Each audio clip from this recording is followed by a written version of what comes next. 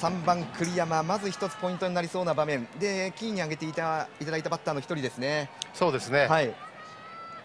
まあ、ここはねやはり押してる広島がですねまずい攻撃で点が取れていない。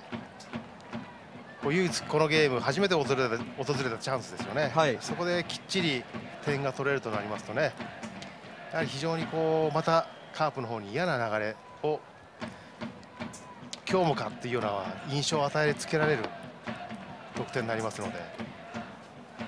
でカープの内野はバックホームシフトを敷いています。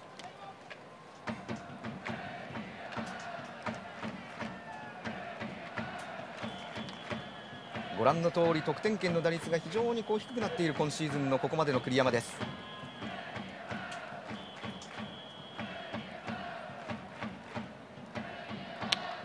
ッチャー返した先制点は西武。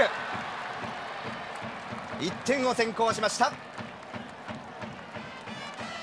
3番栗山のタイムリーヒット。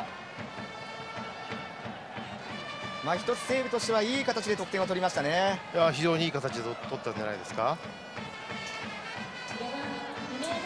そしてあの小早川さんにおっしゃっていただいていたセンターから逆方向のバッティング、はい。栗山も実践しましたね。そのバッティングができてますよね、はい。本当に足元に強く打ち返してます。